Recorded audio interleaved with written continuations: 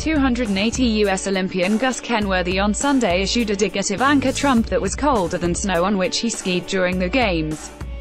So proud of all these people, he tweeted as Team USA was preparing walk in the closing ceremony for the 2018 Olympic Winter Games in Pyeongchang, South Korea.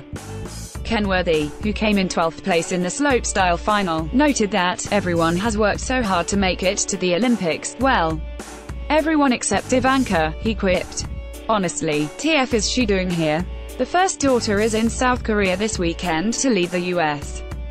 delegation during the closing ceremony. She met and dined with South Korean President Moon Jae-in on Friday and greeted athletes from Team USA earlier on Sunday. Trump has faced backlash over her place at the Olympic event, as did Vice President Mike Pence, who led the delegation during the Games opening ceremony. Click here for some non-Ivanka highlights from the dazzling Olympics closing ceremony. Download Alana Horowitz Satlin, senior editor of Breaking News, HuffPost.